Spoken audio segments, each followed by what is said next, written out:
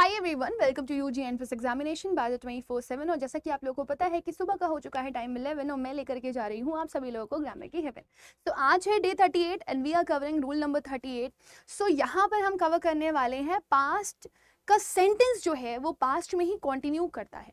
सो so, आपको ये चीज़ हमेशा याद रखनी है कि कभी भी अगर आपको कोई भी सेंटेंस दिया गया होगा अगर वो पास्ट का है तो वो हमेशा किसमें कंटिन्यू करेगा? पास्ट में कंटिन्यू करेगा। तो पास्ट का सेंटेंस होता क्या है? पास्ट के सेंटेंस में आपको जनरली वर्ब की सेकेंड फॉर्म दी गई होती है।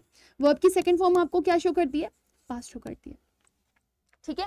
या फिर आपको पास्ट क्या शो करता है? अगर कभी आपके पास हैड के साथ वर्ब थर्ड दिया गया हो तो वो भी आपको क्या दिखाता है? पास्ट दिखाता है। है ना? इसे बोलते हो आप पास्ट परफेक्ट क्या बोलते हो? पास्ट परफेक्ट या फिर अगर आपके पास कभी भी वॉज़ और वर के साथ वर्ब की आईएनजी फॉर्म लगी हुई होती है तो इसे भी आप क्या बोलते हो? इसे भी आप बोलते हो पास्ट का ही सेंटेंस है, लेकिन ये बोला जाता है पास्ट कॉन्टिन्यूस पास्ट कॉन्टिन्यूस और कैसे आप पास्ट बना सकते हो इन दिनों के अलावा? आपके पास मॉडल्स होती हैं राइट क्या होती है? मॉडल्स या मोडल्स भी बोलते हैं कुछ लोग. तो विल का पास्ट क्या होता है? वुड ठीक है? और कैन का पास क्या होता है? गुड मे का पास क्या होता है? माइट शैल का पास क्या होता है? Should right right? अगर आपको ये सारी वर्ब्स दी गई हैं, जिन्हें आप मोडल्स भी बोलते हो या मॉडल्स भी बोलते हो सो so यहाँ पर आपके ये सारे के सारे किसमें है पास्ट है। तो पास्ट ऑफ़ मॉडल्स है ये मोडल पास्ट राइट तो जब भी भी आपको कोई भी सेंटेंस पास्ट में दिया गया होगा, आपको ये चीज़ हमेशा याद रखनी है कि पास्ट का सेंटेंस आपका हमेशा किसमें कंटिन्यू करेगा? पास्ट में ही कंटिन्यू करेगा। ऑलवेज रिमेंबर दिस हमेशा हमेशा हमेशा ये याद रखिएगा। ठीक है? रिमेंबर तो चलिए, अभी हम आपको एक क्वेश्चन लिख करके बताते हैं और आपने मुझे बताना है कि वो सेंटेंस आपका कैसे कंटिन्यू करेगा। मैं चाहूँगी कि आप वीडियो को पॉज करें और उसके बाद वीडियो में आप आंसर दें। तो पहले मैं सेंटेंस लिख रही हूँ, आप वीडियो को पॉज करिएगा उसके बाद आप वीडियो का आंसर दीजिएगा। मैंने कहा इफ़ आई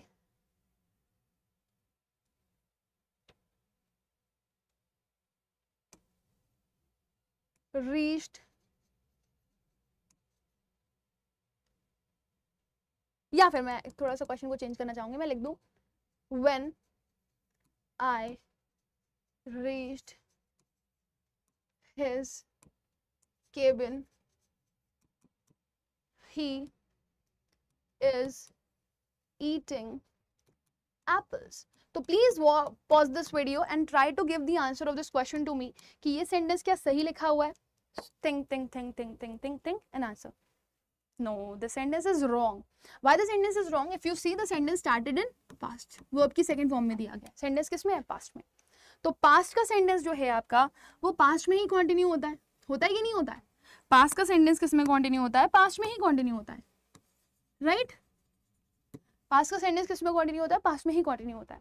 तो अब आपको पता है कि ये इस जो लिखा हुआ है, ये आपको क्या डिफाइन कर रहा है? प्रेजेंट डिफाइन कर रहा है. क्या डिफाइन कर रहा है प्रेजेंट डिफाइन कर रहा है लेकिन इसके बाद जो वर्ब की आईएनजी फॉर्म लगी हुई है, आपको पता है वर्ब की आईएनजी फॉर्म में अगर आपको पास्ट बनाना होता है तो वो पास्ट कॉन्टिन्यूस बनता है तो उसके लिए आपके पास पास्ट बनाने के लिए क्या है वॉज़ है और क्या है वर है राइट और वॉज़ और वर आप किस बेसिस पे लगाते हो? सब्जेक्ट सिंगुलर होता है वर्ब सिंगुलर आती है. सब्जेक्ट सिंगुलर होता है वर्ब सिंगुलर आती है. सब्जेक्ट सिंगुलर होता है वर्ब सिंगुलर आती है. सब्जेक्ट प्लूरल होता है वर्ब प्लूरल आती है. सब्जेक्ट प्लूरल होता है वर्ब प्लूरल आती है. सब्जेक्ट प्लूरल होता है वर्ब प्लूरल आती है. इसको दिमाग में शो कर लो. राइट अब वर्ब कब सिंगुलर प्लूरल बनेगी? जिस वर्ब के साथ एसोरियस लगा वो सिंगुलर जिस वर्ब के साथ एसोरियस ना लगा वो प्लूरल जिसमें एसोरियस लगाओ सिंगुलर जिसमें एसोरियस ना लगाओ प्लूरल जिसमें एसोरियस लगाओ सिंगुलर जिसमें एसोरियस लगाओ प्लूरल तो जिसमें एसोरियस लगा हुआ है, वो क्या है आपकी? वो सिंगुलर है। और जिसमें एसोरियस नहीं लगा, वो क्या हो गई आपकी? वो प्लूरल हो गई। तो सब्जेक्ट सिंगुलर वर्ब सिंगुलर तो सब्जेक्ट सिंगुलर है वर्ब भी सिंगुलर है, लेकिन क्योंकि हमें इसको पास्ट में भेजना है तो हम इसमें वॉज़ या वर्ब में से ही कुछ लगा सकते हैं। लेकिन क्योंकि हमारा सब्जेक्ट सिंगुलर है तो हम पास्ट की भी सिंगुलर वर्ब को यूज़ करेंगे। तो यहाँ पर जो हमारा चेंज आएगा इन द सेंटेंस वो क्या हो जाएगा? इस इसकी जगह पे हम क्या लगा देंगे? was i hope you understand it. जब जब आप क्वेश्चन करेंगे, अभी I am going to give you certain questions और जब जब आप क्वेश्चंस करेंगे you every time you'll pause the video and you have to answer every time you'll pause the video and you have to answer every time you'll pause the video and you have to answer right chaliye आगे बढ़ते हैं this is the first question this is the second question this is the third question this is the fourth question when will do first question you will pause the video and you will answer है ना if I left you alone अगर मैं तुम्हें अकेला छोड़ दूँ अगर मैंने तुम्हें अकेला छोड़ दिया है ना? तो यहाँ पर देखें लेफ़्ट लिखा हुआ है वर्ब की सेकंड फॉर्म में पास्ट डिफाइन कर रहा है। तो पास्ट का सेंटेंस कंटिन्यू भी किसमें करता है? पास्ट में ही कंटिन्यू करता है। और जब पास्ट का सेंटेंस पास्ट में कंटिन्यू करता है तो आप पास्ट की ही वर्ब लगाते हैं। कोई भी वर्ब हो। अब यहाँ पर अगर आप देखेंगे तो क्या लिखा हुआ है?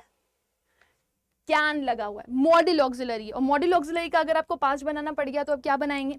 जल्दी से बताइए। क्या ये कैन सही है? ये तो प्रेजेंट को डिफाइन करेगा ना तो आप यहाँ पे क्या लगा देंगे? Pause the video and do pause the video and do second question if he died अगर वो मर गया तो तुम्हारा रिएक्शन क्या होगा? अगर वो मर गया तो तुम्हारा रिएक्शन क्या होगा? Again if you see this sentence is in past because we have given verb second form died die died died है ना? डाइड वर्ब है डेथ नाउन है डेड एडजेक्टिव है. डेड बॉडी बोलते हो. तो डेड बॉडी में डेड एडजेक्टिव बॉडी नाउन है ना? समझ में आ रही है? तो डेथ नाउन डेड एडजेक्टिव और डाइड क्या है आपका? वर्ब है वर्ब का सेकंड फॉर्म तो अगर वो मर गया तुम्हारा रिएक्शन क्या होगा? तो रिएक्शन तो आप पास्ट में ही दोगे ना प्रेजेंट में नहीं दोगे. अगेन आपको मॉडल का पास्ट यहाँ पर दिया गया तो क्या आ जाएगा यहाँ पर? What your answer will be will और वुड आप कहेंगे ma'am please watch the video and do the third question with me As soon as I entered the station, जैसे ही मैं स्टेशन में एंटर की मैंने क्या देखा कि ट्रेन जा चुकी है। मैं जैसे ही स्टेशन में एंटर करी तो मैंने क्या कहा कि ट्रेन जा चुकी है, कि जा चुकी थी। तो बोलेंगे, मैम पास्ट में है तो जा चुकी थी होगा। तो क्योंकि ये सेंटेंस भी हमें किसमें दिया गया वर्ब की सेकंड फॉर्म में? This is also telling us what past what past what past तो क्योंकि सेंटेंस हमें पास्ट में दिया गया तो पास्ट का sentence will take with past only so अब यहाँ पे बताए ना हैज़ क्या है? हैज़ प्रेजेंट है। तो यहाँ पे हैज़ की जगह पे आप क्या लगा देंगे? हैड और हैड के बाद तो आपकी वर्ब की थर्ड फॉर्म आती है तो मूव्ड का मूड लिखा रहने देंगे। समझ में आ गया ना? Now there another question when I got into his home जैसे ही मैं उसके घर के अंदर घुसा ही वर प्लेइंग चेस तो पास्ट का सेंटेंस है पास्ट में ही कंटिन्यू करेगा।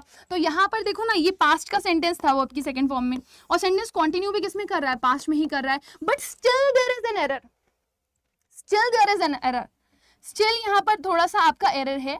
क्या एरर है? यहाँ पे मेरे पास वर्ब की आईएनजी फॉर्म है। और वर्ब की आईएनजी फॉर्म के साथ या तो वॉज़ लगता है या तो वर लगता है। वो डिसाइड करेगा आपका सब्जेक्ट तो आप मुझे बताएँगे, क्या ही के साथ वर लगाना सही है?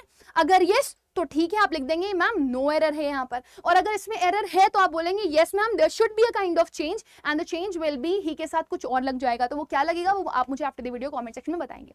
इसी के साथ मैं ये वाले सेशन को यहाँ पर एंड कर रही हूँ बट आई होप कि आप लोग रेगुलर बेसिस पे नोट्स बना रहे होंगे। और जब हमारे फिफ्टी सेशन कंप्लीट हो जाएँगे तो हम इन सेशन का रिविजन करेंगे। और रिविजन कैसे करेंगे? I be there at eleven o'clock मैं ग्यारह बजे आऊँगी आपकी क्लास लेने के लिए। और हर पाँच पाँच रूल का हम लोग क्वेश्चन प्रैक्टिस करेंगे। तो इसलिए पहले ही आपको रूल्स मैंने बता दिए हैं, आपको सिर्फ़ और सिर्फ़ क्या करना है, रिविजन करना है मेरे साथ 11 बजे। तो जब से क्लास स्टार्ट होगी आपकी वो वाली तो मैं आपको बता दूँगी कि कब कब वो होगी। ठीक है? So with this my dear student let me end this session but do not forget अगर आप सी की प्रिपरेशन कर रहे हैं और आप चाहते हैं कि सी की प्रिपरेशन आप अच्छे से कर ले तो अड्डर ट्वेंटी फोर सेवन की ऐप पर जाकर करके आप एक बैच ले सकते हैं, जिसका नाम है अर्जुन बैच जो आपका सेवन्थ ऑफ़ सेप्टेम्बर से स्टार्ट करने की बात करी गई है। अगर कोई चेंजेस होते हैं तो वो आपको बता दिए जाएँगे। मैक्सिमम डिस्काउंट के लिए आप कोड भी यूज़ कर सकते हैं Y four eight four thank you